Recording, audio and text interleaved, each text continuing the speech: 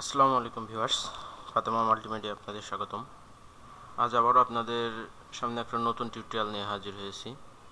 তো আজ আমি আপনাদের জন্য যে টিউটোরিয়ালটা দিব, আপনারা জানেন টেক্সটের উপরে আমি আপনাদের বেশ কয়েকটা টিউটোরিয়াল দিছি। আজ আমি টেক্সটের উপরে আপনাদের যে টিউটোরিয়ালটা দিব, সেটা হলো কীভাবে আপনি একটা টেক্সট এডিট করতে পারবেন। তো দেখেন, আমার এখানে একটা সিঙ্গেল লাইন টেক্সট আছে। আমি যদি এই টেক্সটটার উপরে দুইবার ক্লিক করি আমি টেক্সটার ভিতরে ঢুকে যাব। তো এবার আমি যদি মনে করি আমি এইটুকু কেটে দিব, তো দেখেন আমি এইটুকু কেটে দিলাম। যদি আমি যদি একটা বাইরে ক্লিক করি, আমার এটুকু চলে গেল।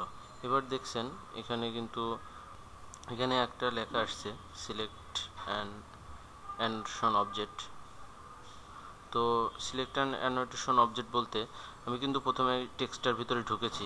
এবার আমি যে টেক্সটার ভিতরে থেকে বেরিয়ে এসছে, বেরিয়ে এসেছি, কিন্তু অটোক্যাট সেই আমি যে এই টেক্সটার ভিতরে ঢুকেছি সেটা সে কাউন্ট করে রেখেছে। এই এইবার যদি আমি এই টেক্সটার ভিতরে যে কোনো একটা ক্লিক করি, দেখেন, আমি একবারে এই টেক্সটার ভিতরে ঢুকে গেলাম। তো এইভাবে আপনি এটা একটা সিঙ্গেল লাইন টেক্সট আপনি এটা এভাবে এডিট করতে পারবেন। তো একটা আপনারাদের একটা জিনিস বলি, আমার এখানে দেখছেন একটা নিচে একটা লাইন আছে, তো আপনারা ভাবছেন যে এটা কীভাবে আসলো, তো এটা আমি আপনাদের দেখাবো। প্রথমে আমি এই টেক্সটার ভিতরে ঢুকলাম, ঢুকে আপনার কিবোর্ড থেকে কন্ট্রোল ইউ যদি প্রেস করেন, তাহলে দেখেন নিচে একটা আন্ডারলাইন চলে আসবে। কন্ট্রোল ইউ দেখেন, এখানে সেম একটা আন্ডারলাইন চলে এসেছে।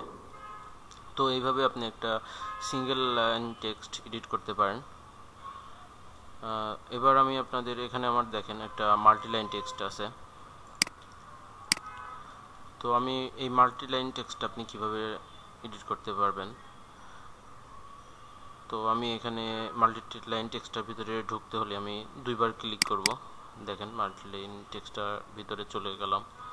যে আপনি এখান থেকে কলামের উইথটা চেঞ্জ করতে পারবেন। কলামের হাইট আপনার যতটুকু ইচ্ছা ততটুকু আপনি চেঞ্জ করতে পারবেন। আর ভাবে আপনি মাল্টিলাইন টেক্সটটা এডিট করতে পারবেন, সেটা গ্রিপের মাধ্যমে। যে গ্রিপটা হলো, আপনি দেখেন আমি এটা সিলেক্ট করার পর এখানে যে তিন কোনায় দেখেন তিনটা চিহ্ন আছে, এটা এটা আপনি যদি এই পাশে ই করেন, তাহলে দেখেন এটা আপনি ফুল টেক্সটটাকে যেদিকে ইচ্ছা সেদিকে সরাতে, নড়াতে পারবেন। আর এই পাশে যে এটা দেখছেন, এটা আপনি কলামের যে টেক্সটের উইথ আছে, সেটা চেঞ্জ করতে পারবেন। আর নিচে এটা যেটা আছে, আপনি কলামের এটা হাইটটা চেঞ্জ করতে পারবেন। তো দেখেন, আমি যদি এখানে ছোট করি, পাশে আমার একটা কলাম তৈরি হয়ে গেল। আমি যদি আরও ছোট করি, দেখেন পাশে আর আরও একটা আমার কলাম তৈরি হয়ে গেল। তো এইভাবে আপনি, এই দুইভাবে আপনি মাল্টিলাইন টেক্সট এডিট করতে পারেন। আপনাদের যে দেখালাম গ্রিপের মাধ্যমে, আর সরাসরি আপনি টেক্সটের উপরে ক্লিক করে ঢুকে আপনি মাল্টিলাইন টেক্সটটাকে এডিট করতে পারেন। আরেকটাভাবে আপনি টেক্সটটাকে এডিট করতে পারবেন। আপনার যেই প্রপার্টিস ম্যানেজার আছে, আপনি প্রপার্টিস ম্যানেজারে যদি যান, প্রথমে আপনি যেই টেক্সটটা এডিট করতে যাচ্ছেন, সেই টেক্সটটা আগে সিলেক্ট করবেন। সিলেক্ট করার পর আপনি প্রপার্টিস ম্যানেজারে যাবেন। প্রপার্টিস ম্যানেজারে এখানে দেখেন আপনি এই টেক্সটার ভিতরে আপনি যাবতীয় যা আছে সব কিছু এখানে আছে। দেখেন এখানে টেক্সটের হাইট ওয়ান দেওয়া আছে। রোটেটন আমি রোটেশন আমি দিই নাই। জিরো আছে। তো আমি যদি এখান থেকে টেক্সটের হাইটটা আমি এক ইঞ্চি আছে, আমি যদি এটা দুই ইঞ্চি করে দিই, দেখেন আমার এই টেক্সটের হাইটটা কিন্তু বেড়ে গেল। তো এইভাবে এইভাবে আপনি প্রপার্টিস ম্যানেজারে যে